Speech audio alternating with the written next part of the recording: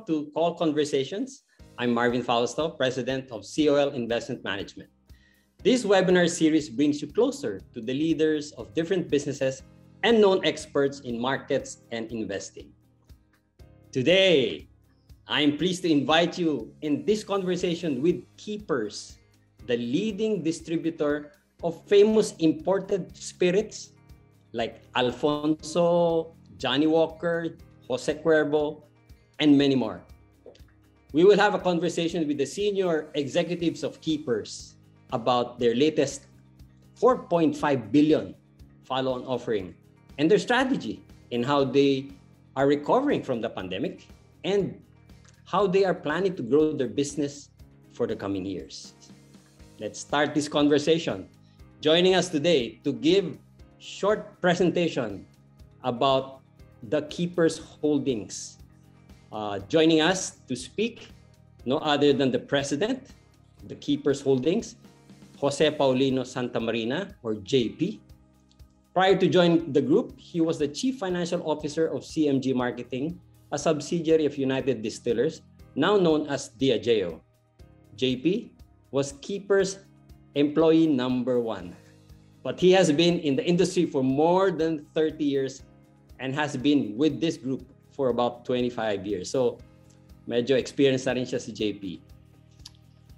Also, with us today is Ms. Imelda Lacap, Controller of the Keepers Holdings. She started her career with SGV and Company before moving to Puregold as audit officer and has been with the liquor group for 15 years. So, without further ado, let us all welcome the Keepers Holdings Inc. for their presentation. All right. Thank you, Mr. Uh, Fausto, for the very generous introduction. Thank you, okay, for the retail investors of COL Financial for uh, uh, giving us the opportunity to present our business to you this afternoon. Maraming salamat po. Um, we have an exciting presentation prepared for you today, showing how recovery is well underway in spite of the continuing effects of the perennial lockdown. But before we go into details, allow me to recap the group's story. The Keepers Holdings started when Mr. Lucio through the Cosco Group, diversified into the distribution of imported alcoholic beverage from his core retailing business. Doon yan. Keepers is the holding company to three major players in the Philippines spirit, wine, and specialty beverage industry Montosco, Meritus, and Premier. Collectively, the Keepers Holdings is by far the largest distributor of imported spirits in the Philippines with a market share of 74% based on volume and 66.9% based on retail sales value. The strongest synergy that we derive from Cosco Group is through our affiliates Puregold and S&R. We have benefited and will continue to benefit from their vast nationwide network of 438 stores.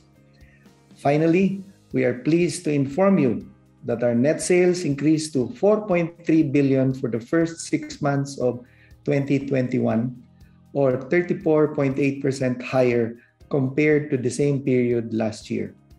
Net income at 700 million or 74.5% higher than last year thanks to the strong rebound of the sales volume of our brandy category, which has surpassed its pre-pandemic uh, performance. Next slide, please. Jan. This is how the Cosco Group looks now. As you are aware, the Keepers Holdings, formerly Da Vinci Capital Holdings, is now a holding company fully owning the liquor distribution businesses of the Cosco Capital Group. In this section, allow me to share with you six key investment highlights that we believe makes Keepers an interesting value proposition for you. Number one, we hold the leading market position in the imported spirits distribution segment in the Philippines. Our leadership extends to all relevant categories of the imported spirits segment. From our anchor category, Alfonso is number one in brandy, to blended Scotch whiskey, Johnnie Walker is number one. Practically all spirit categories our brands dominate. As mentioned, we hold a market share of 74% based on volume and around 67% based on retail sales value of the imported spirits market. Amid this backdrop, we continuously assess.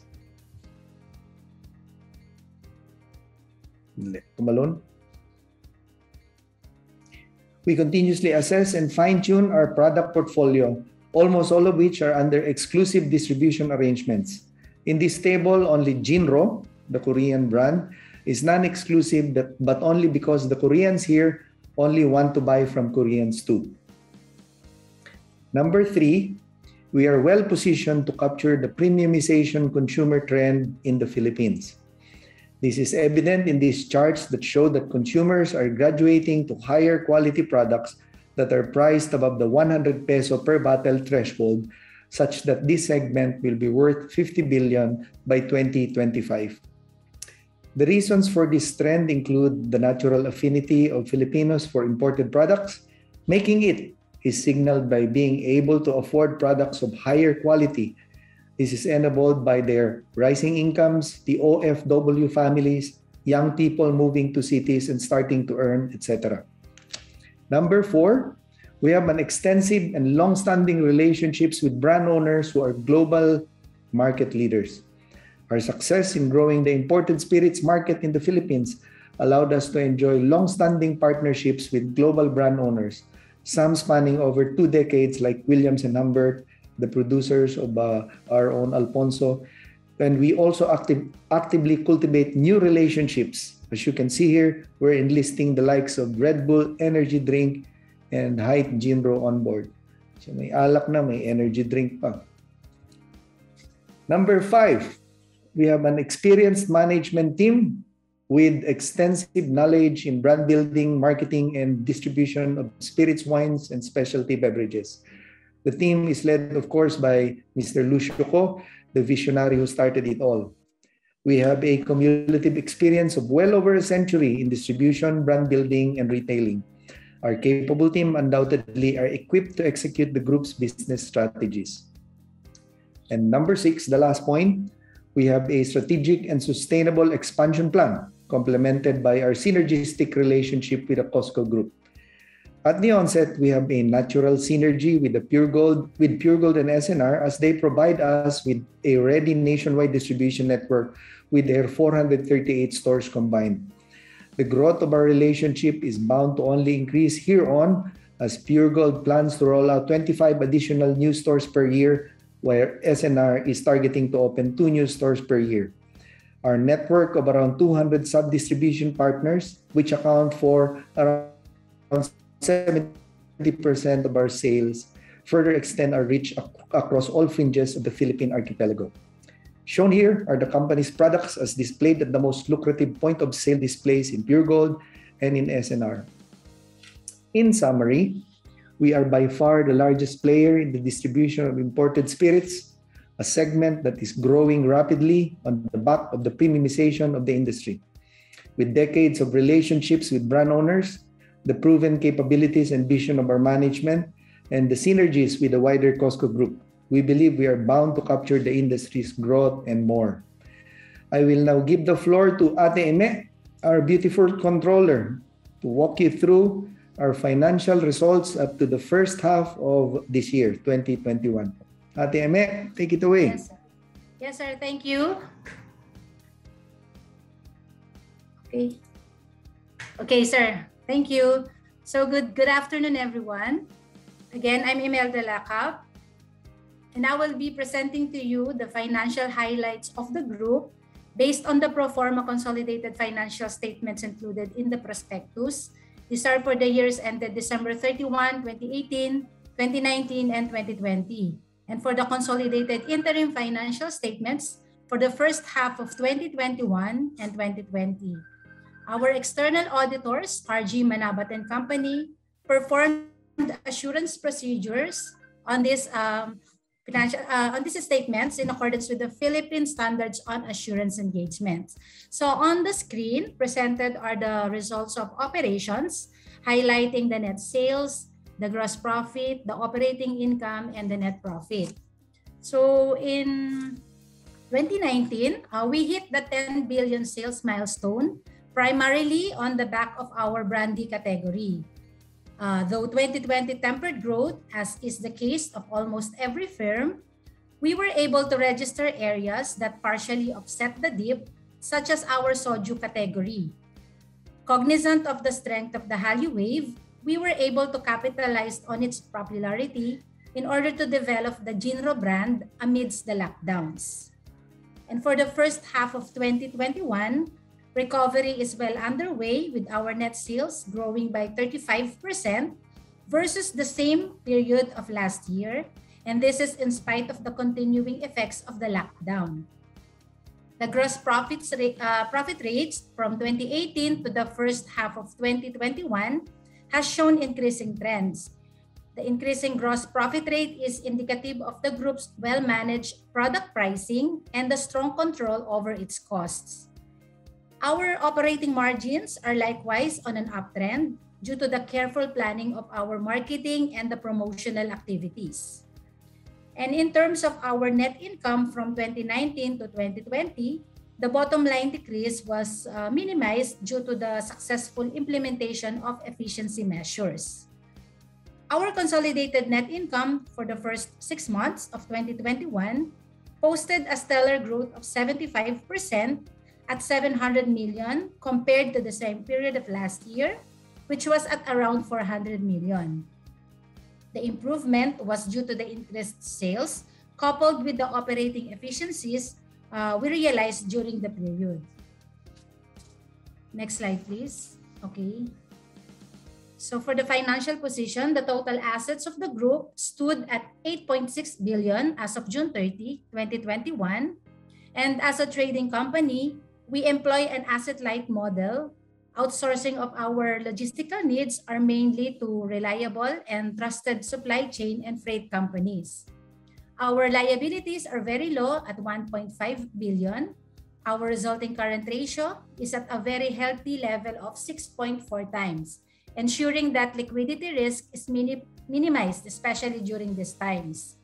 And historically, we have, we have always been very conservative in availing uh, debt financing facilities. Our very low gearing of 0.20 times is a testament to that. And this has made us resilient and is benefiting us now as we position ourselves to aggressively expand along with the recovering economy.